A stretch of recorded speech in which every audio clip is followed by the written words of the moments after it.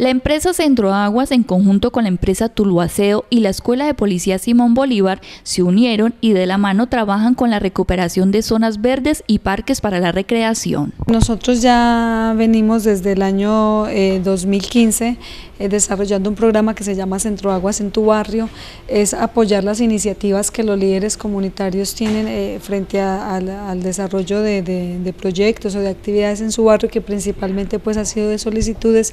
de embellecimiento eh, de parques. Entonces, así como inicialmente pues Centro Aguas había iniciado solo este proceso de Centro Aguas en tu barrio de, apoyar, pero después se vincularon entonces otras empresas y en este momento tenemos como aliado estratégico a, a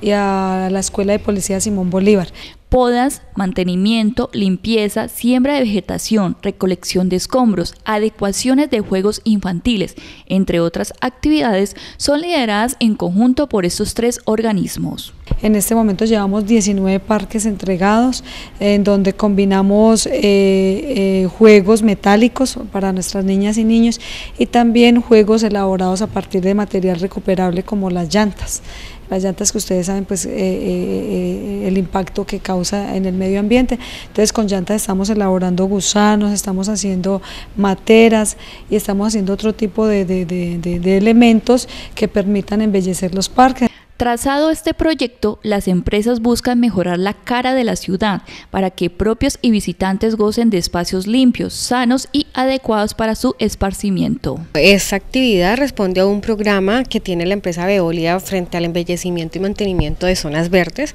Es un programa que venimos adelantando hace cerca de dos años en vinculación con la empresa Centro Aguas y la Escuela de Policía Simón Bolívar, donde a través del embellecimiento con material reutilizado como llantas, como botellas plásticas, pretendemos crear en la comunidad una conciencia no solamente de aprovechamiento de los residuos, sino de, también de apropiación y sentido de pertenencia por sus entornos. Estas entidades buscan de manera conjunta seguir impulsando este tipo de proyectos que van en pro del cuidado y recuperación de las zonas verdes en el municipio de Tuluá. Inicialmente la empresa de aseo